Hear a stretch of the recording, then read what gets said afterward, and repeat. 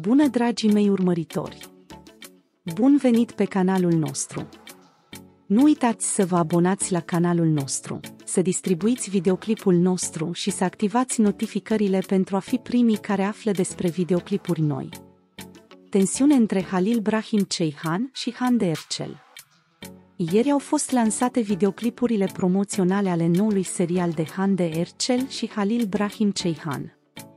În trailerul serialului, nu i-am putut vedea pe Halil Brahim Ceyhan, Melissa Dongel și unul dintre actorii principali Sercai Tutuncu.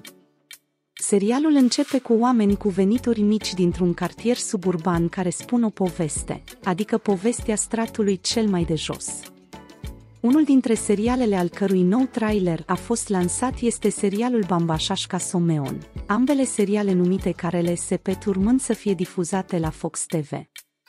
În primul rând, a fost lansată promovarea seriei Carele Sepet. Deși Halil Brahim Ceyhan nu a participat la videoclipul promoțional al serialului, videoclipul promoțional al serialului a fost foarte apreciat cu tema și actorii. În schimb, când despre promovarea noului serial de către frumoasa actriță Hande Ercel nu s-a vorbit la fel de mult ca despre serialul lui Halil Brahim Ceyhan, a izbucnit o criză. În noul sezon, seriale ambițioase vor începe să fie difuzate una după alta.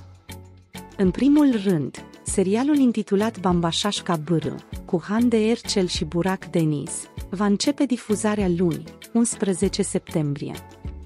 În primul trailer al seriei, abordarea și sărutările lui Burak și Hande din prima scenă au fost foarte îndrăznețe. Deși ziua de difuzare a serialului Dirty Basket nu este încă cunoscută, acesta nu va fi difuzat luni sau vineri. Crezi că seria Dirty Basket va avea mai mult succes decât seria Hande Ercel? Ne poți împărtăși opiniile tale valoroase în secțiunea de comentarii.